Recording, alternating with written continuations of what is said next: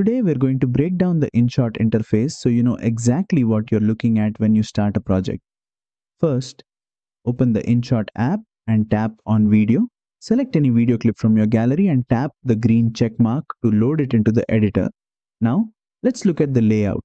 At the bottom, you'll see the timeline. This is where all your clips sit and it's where the magic happens. You can tap on clips to trim, cut or rearrange them.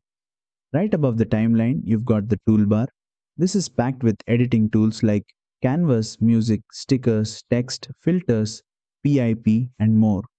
We'll explore each of these in upcoming tutorials, but feel free to tap around and explore.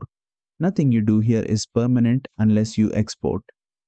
At the top of the toolbar, you've got the undo and redo buttons.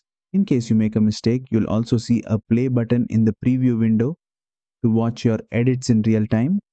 And finally, once you're done editing, just tap the export button in the top right corner to save your video in the quality you want. And that's it. Now you know your way around the InShot interface. In the next video, we'll get hands-on with trimming and cutting clips to shape your story. If this tutorial helped, don't forget to like, share and subscribe for more beginner-friendly InShot tutorials.